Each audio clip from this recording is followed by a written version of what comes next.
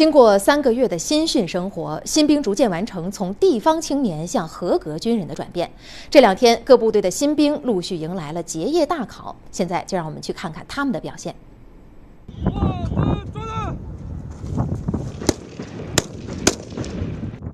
这是陆军第七十九集团军某新兵团组织的多科目结业大考。持续的低温给考核增添了几分难度。实弹射击考核中，新兵李梦豪步枪突然卡弹，在安全员的协助下，他顺利排除故障。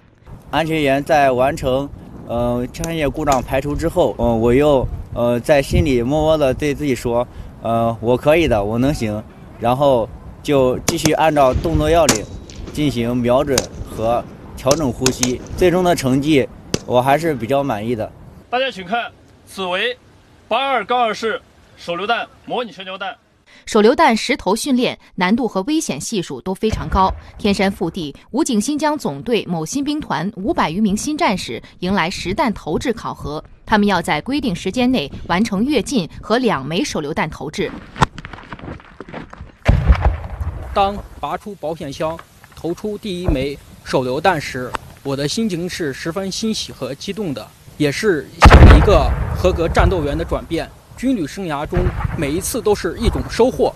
很好，往前走，往前走，前，前。在第八十三集团军某新兵团的心理行为考核现场，新兵要蒙住双眼，在战友的护送下抵达雷区中心点，完成排雷。除此之外，新兵们还要完成穿越电网和信任背摔等团体科目。通过不断的配合，增强团队协作意识和人际交往能力，从而在战场上更放心的把自己后背交给身边的战友。不仅军事要过硬，思想政治也必须要过关。近日，武警北京总队组织近万名新兵参观总队使馆，了解部队走过的光荣历程和建设发展的辉煌成就。在经历了近三个月的摔打磨砺后，新兵们渐渐褪去稚嫩，走向成熟。